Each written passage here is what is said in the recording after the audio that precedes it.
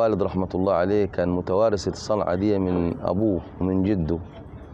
فكان راجل رحمة الله عليه صاحب فكر.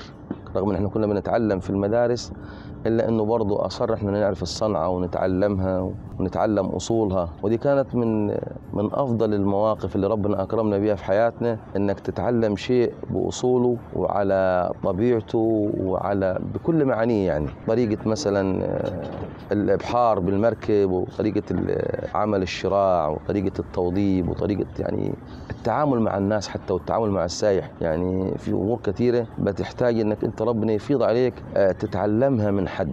الاجتهاد لوحده ما يبقاش الاجتهاد اجتهاد إلا لو أنت عندك الصنعة أو عندك الأساس في التعليم. تجي بعد كده الخبرة وتجي بعد كده الاجتهاد شراع للمركب. ده بيخضع لكذا شيء منها طول المركب وعرض المركب ارتفاع الشراع نفسه القريه بتاعت المركب طول البومة. فده كله أنت بتعمل يعني نسبة وتناسب مع المركب نفسه. بحيث إنه رب لما ربنا يفيض عليك تعمل حاجة تتناسب. زي الترزي كده لما يعمل لحد جلبيه أو يفصل له مثلا بدلة بياخد مقاساته.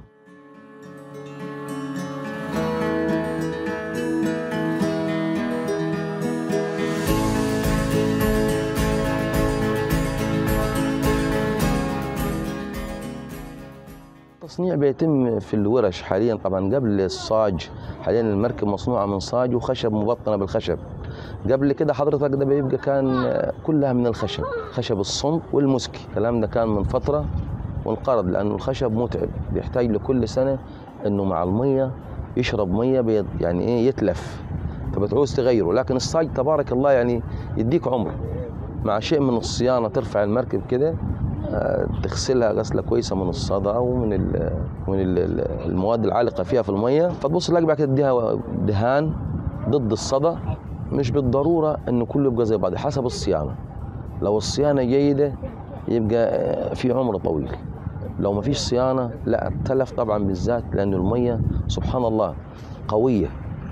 فسواء صاج أو خشب المية شديدة عليه.